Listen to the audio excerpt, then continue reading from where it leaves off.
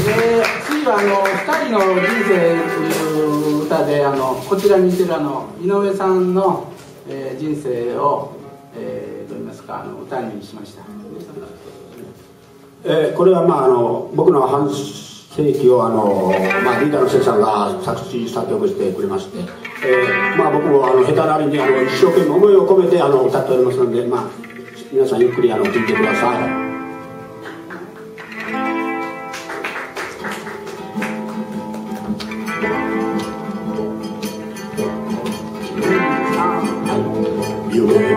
ました。恋もした